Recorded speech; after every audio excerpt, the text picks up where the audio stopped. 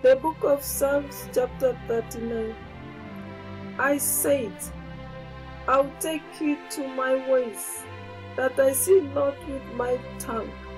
I'll keep my mouth with the bridle, while the wicked is before me.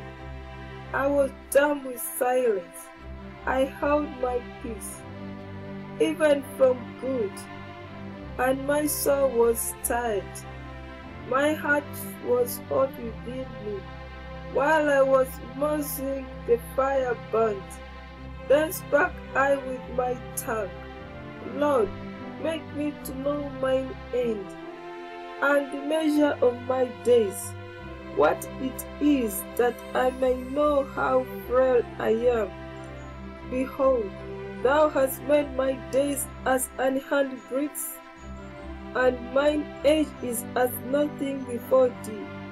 Verily, every man at his best state is altogether vanity. Selah.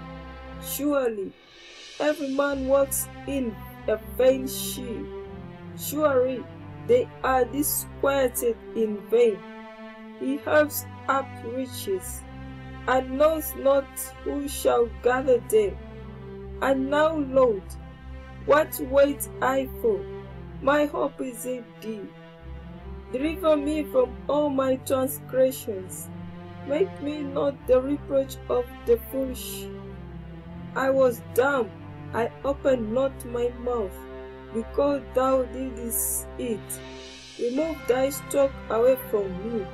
I am consumed by the blow of thine hand. When thou with rebukes dost correct man for iniquity, thou makest his beauty to consume away like a moth. Surely every man is vanity. Selah, hear my prayer, O Lord, and give ear unto my cry. Hold not thy peace at my tears, for I am a stranger with thee, and a sojourner, as all my fathers were.